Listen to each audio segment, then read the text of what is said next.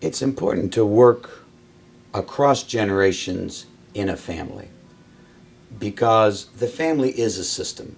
And uh, our focus is on the youngest children in the family. But the first teachers of our young children are their parents. And they live with their parents or their guardians or whoever the adults are who are taking care of them.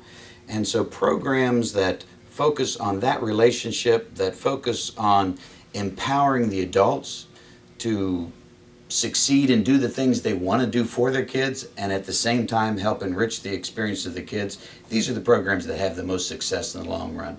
The kids start in the home, they spend most of their time in the home, and the greatest progress the kids can make are made within those family relationships.